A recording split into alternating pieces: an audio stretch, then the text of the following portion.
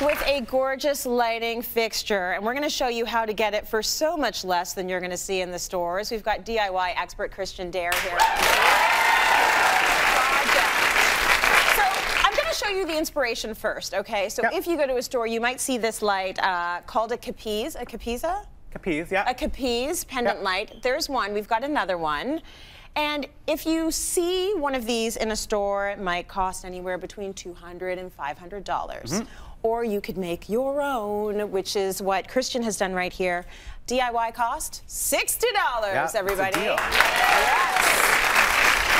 So I want to know then, did this, I mean, did this take you half a year? Did it take you a weekend? It didn't take a weekend. It probably took two four-hour shifts, maybe Oh, at the okay. most. At the most. Yeah, It really doesn't take that long. It's actually the cutting out that takes a while, but. Right. Okay, so how do we if you want. start? So super.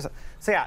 So Capiz chandeliers have been really popular for years. They're actually called Capiz because it's called also a window pane oyster. Okay. So they're see-through. So they use them in decorations a lot. So DIYers have done them for years, but they used to do them with wax paper. Yes. And irons. Yes. And you would wax together four sheets of paper. Oh. That's too much work for me. We're not doing Yes, that. Put that away. Right? That's too much work. and too how do you dust wax paper? I don't know. I don't know either. so I actually went to a big box store and sourced this. It's called Privacy Control Window Film. Okay. Which is technically frosting. Oh, if you ever oh, need so to frost a door or a window. here. Yeah, so it's Yeah. thicker. It actually gets that same sort of look. Yes. And it's better for the heat and you can dust it easily. So And you don't have to put four together, No, fuse four no, together. just you one. can just use one. That's great. So yeah, total cost is about $60. If you have one of these guys at home already, these sort of, we love them, we hate them, white globes. Yes. The rest of it's maybe $35. Oh, perfect. So because mine, I had to source one, came with silver Mm-hmm. fixtures, I actually used an antique gold to spray it. So just make sure you're doing it in a well, well ventilated area and Yeah, a mask. So I just wanted that gold fixture. So Uh huh. step one is you create a template. Yes. So this guy I just made with uh, uh, cardboard or cardstock. Okay. So it's just a double leaf. Right. Simple. I'm just going to show them what that looks like so they know. So, because you're going to be tracing this over and over and over again. And over and over and over again, Okay, yeah. Okay, so make sure it's a little bit. Yeah, a uh, thicker got- paper. Right, a thicker paper. Yeah. So you're going to trace on, you'll see on this paper there's a shiny side and a matte side. Yeah. So trace on the matte side. Got it's just it. Mm-hmm. easier to see it, easier to trace, and just use a pencil. So it's very simple. You're just going to keep tracing, trace as many as you can. People ask me how many did it take? Yeah. I don't know. it took count. basically the whole sheet, which is four by eight feet. Okay. You were tracing So, for a while. Mm-hmm. I was tracing for a while, but what's actually really interesting is you're going to make a whole bunch of them. They don't have to be perfect. Yeah. Like capiz shells are natural. Yes. Get the kids to cut with you. Yes. It's like safety scissors and cut them. Like you'll see they're all slightly different, And that's okay. and that's okay because you actually won't notice it in the fi- fixture. That's right. You want it to look more organic, anyways. Exactly. So the next step So is to cut a outline whole them. bunch of Whole bunch of these. these. Okay. And then we're going to outline them. So you're going to outline them. You're going to grab that. a paint marker. Yeah. I always tend to go with the oil paint markers when I'm using metallic because it gives a more intense metallic color. Mm. So, and you'll see you can also have the kids help you with this. Yeah. So you're just gonna go uh, basically outline it. When This it dries a little, Yeah. you wanna do both sides basically. Okay.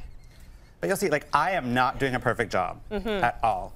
So you And want it to be fine. a thick-ish kind of line. Yeah, a thickish kind of line, because often chandeliers will do this. It's kind of basically the sort of like metal ribbing they would use to hold the capiz shell together. Got it. So that's the look you're kind of really recreating. Right. So you're gonna do lots and lots of these, and you'll see they're all slightly different. Yep. Glass globe. All right. Now we've we're done all of this hard Done all work. this it's the prep work. work that takes the time. Now The prep work takes time. The actual gluing on, because you're actually gonna do it in a very random pattern, Oh, so you, you don't are. get a weird sort of pattern happening. Yeah.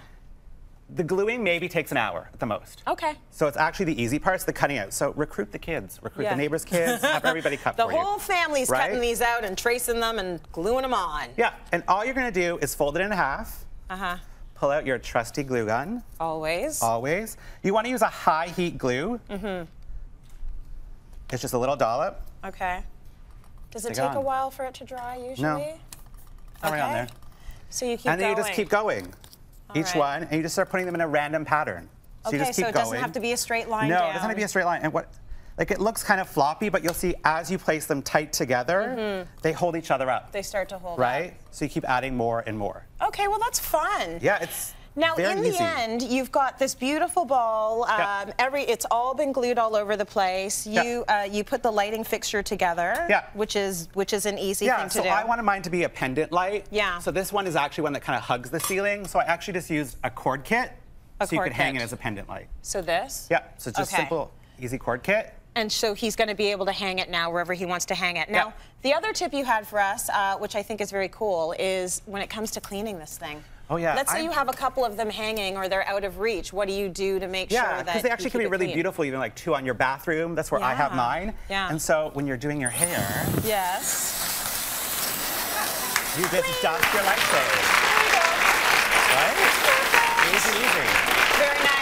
Because it's so sturdy, it just stands up to it. Yes, I love it. Uh, we often put the instructions for your DIYs Yep. on our website Yep. because we love for our viewers to follow along at home. And, and this is a fairly easy one that we know that you'll be able to master. So cityline.tv for the instructions. And thank you, Christian. Thank